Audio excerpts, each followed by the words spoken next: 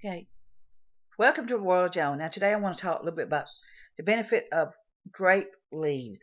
You know, we don't think about them except as cooking, but you know, I, these here some that I've dried, as you can see right here.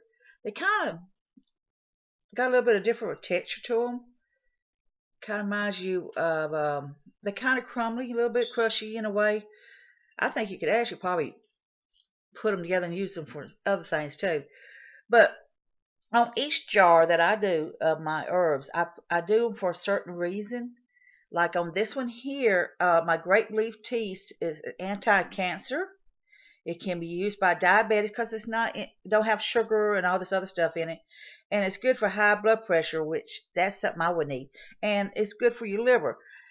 The thing is, is that what if something does happen? You know, SHTF does happen, or whatever Mother Nature or man made, what if we can't get to our medications? You know, I have high blood pressure, so this here will help me. I'm going to make me a tincture later of a combination of herbs because, you know, I get tired of just taking the pills. I take three different herb pills now.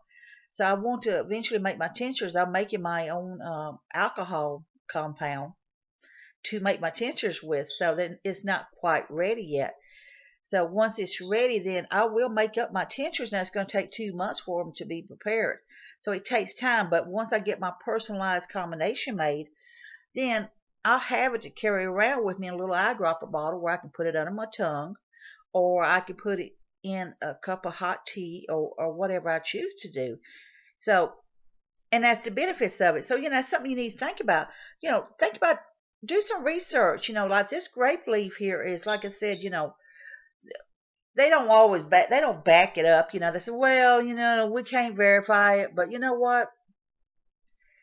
This stuff's been around longer than we have and the indians and other cultures knew what were the benefits of these because they depended on these. So we got to depend on these if something should happen. So you know get you some grape leaves and grime. Don't think i'm just as something to wrap up in food you know my neighbor next door, you know, I because of an issue, I just keep the grape leaves. I won't let the grape leaves grow much, and and I met they weren't producing grapes, except for a couple, of them, and they weren't producing large quantities. So I keep them cut down and things. So you know, I said, man, I gotta use something, do something with these grapes. I can't just, you know, keep them cut down all the time. Then I decided, you know what? They wrap these leaves up all the time for cooking. Why can't we make tea with them? So I got online and I did my research with it.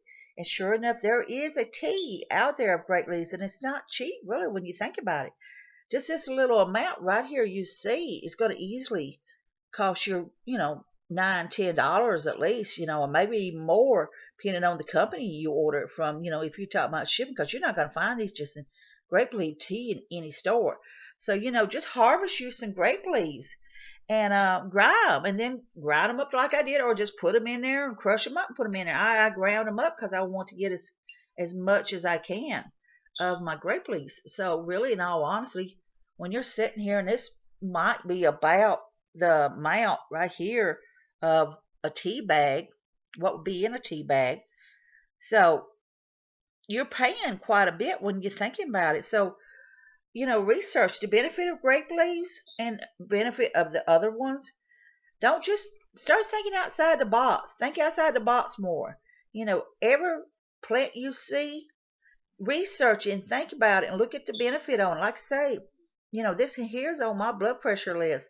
Once I get around to making my tinctures, I will mix some of this in with some of the others that I've dried and stuff to create uh, some stuff that I need for my system without having to carry the herb pills around all the time.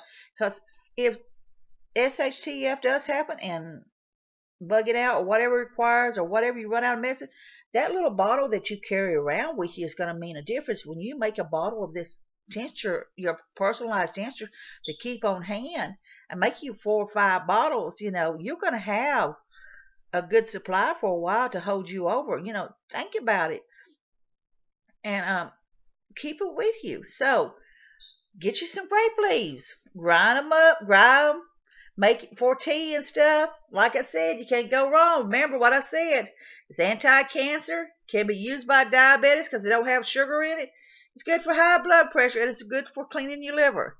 So, from the world of Joan, remember, get some, grind some leaves for your tea. Be safe, be happy. Bless you all.